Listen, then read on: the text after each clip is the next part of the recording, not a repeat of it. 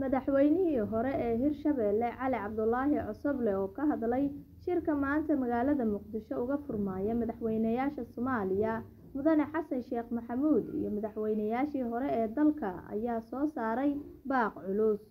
Cosoble ayaa madaxda ku shiraya muqdisho u soo jeediyey inay u turaan dalka islamarkaana ay ka shaqeeyaan sidii danta guud iyo mustaqbalka dowladnimada oo aysan fiirsan dantooda gaarka ah madaxweynihii hore ee hirshabelle ayaa waxa uu si gaar ah u dul istaagay qodobo ay ku jiraan heshiiskii u dambeeyey ee golaha wadatashiga qaranka kuwaasi oo ka mid ah qodobada miiska u saaran madaxda ku shiraysa magaalada muqdisho waxa uuna kula taliyey inay si taxadar leh uga fiirsadaan ra'iisul wasaare oo laga guuro laguna bedelo madaxweyne ku-xigeen waa xaaladda soomaaliya oo la geliyey khatar aada u weyn. Dhanka kalena waxa ay qiimo tiraysaa baarlamaanka ayuu yiri cali cosoble